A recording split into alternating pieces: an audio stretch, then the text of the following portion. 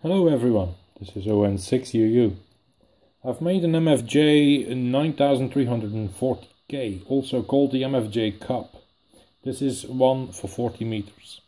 On the front you have here uh, a LED power button, the phones uh, for uh, loudspeaker or headset.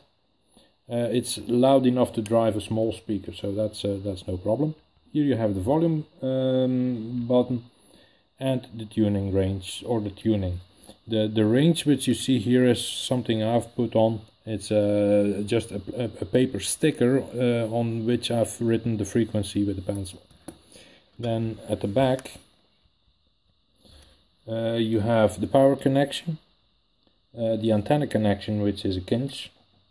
Um, maybe it would be better that that would be a uh, BNC but of course to mount the PCB inside the box it's very small it's just right just precise goes in and that's it. With the the, the Cinch it can be mounted into the case. With the BNC it would be problem.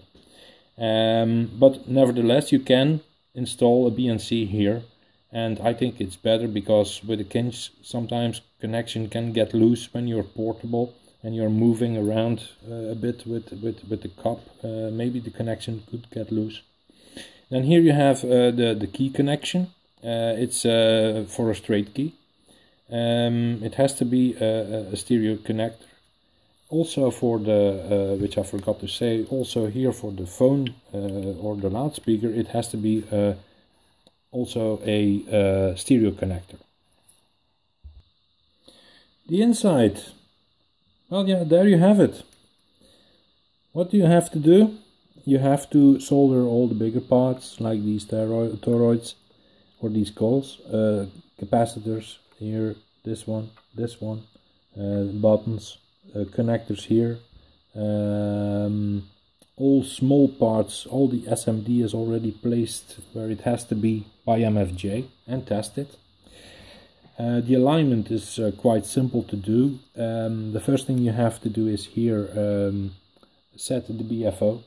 Uh, depending on the band you choose, um, so I mean which uh, frequency band, so if you have a 9320K or a 9340K, that frequency is not the same. It has to do something with the crystals used here. Um, so to align these, you have to have a wideband receiver or a transceiver which also uh, can uh, receive uh, broadband. Then the second alignment is uh, the VFO calibration, which is here.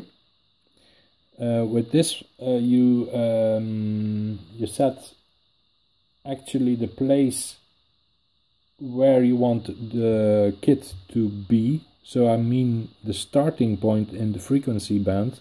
Some people will want to have it on the on the uh, novice uh, band in the US. Other people will want it to have like here in the in Europe uh, on 7000 uh, dot zero zero zero or zero zero one or something, and then go the complete European CW band.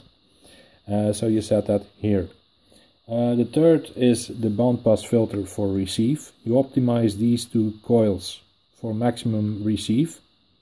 Uh, the fourth setting is the offset here.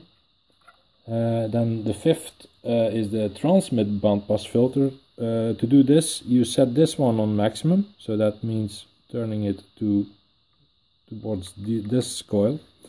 And then you align these for maximum power out once they are optimized you can turn this back until it starts descending. So until power starts descending. Um, I wouldn't go to the maximum it can give. Uh, mine gives 1.5 watts which is not the promised 2.2 or higher uh, promised by MFJ but I, I, I, I don't have a problem with that. I'm, I'm very pleased with the 1.5 uh, MFJ also describes uh, that you can put another transistor here and it, they also describe which which which transceiver to put in the in the kit so that's no problem either these two toroids don't be afraid of those quite simple to do. It's it's a piece of cake, really. Well, um, the kit has been connected with a key and loudspeaker, antenna and power. Just want to have you listen to it.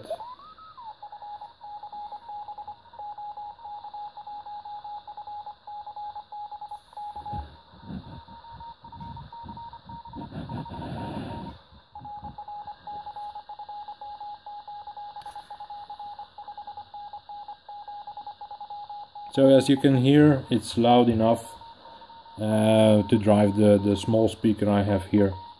Um, the conclusion, well, it's an easy kit. All parts were there. Uh, I had no uh, no problems with that. It's a good PCB. All components um, are far enough uh, out of each other or far enough from each other, so even a beginner can can solder everything. Um, the power, well, yeah, as mentioned, it's not as high as MFJ promises, but yeah, no problem there. It doesn't have an internal internal keyer, um, but you can mount an internal keyer here. Um, if I'm not mistaken, it's called a Pixie gear, not by MFJ, but you can mount it here at the back. Um, the tuning range is large enough for the 40 meter band. I have seen that uh, the tuning range for the 30 meter band is not that that that high. It's only 20 kc. Uh, I find it a bit not enough. So I'm, I'm still thinking, shall I buy the 40 uh, the 30 meter or not? Uh, maybe I will go for the 20 meter. I I like the, the the Cub very much. Okay, thank you for watching. Um, I hope you uh, enjoy um, making the kit or soldering the kit, testing it, and yeah, enjoying it while you uh, do some CW with it. All the best, 73. Bye bye. ON6UU signing.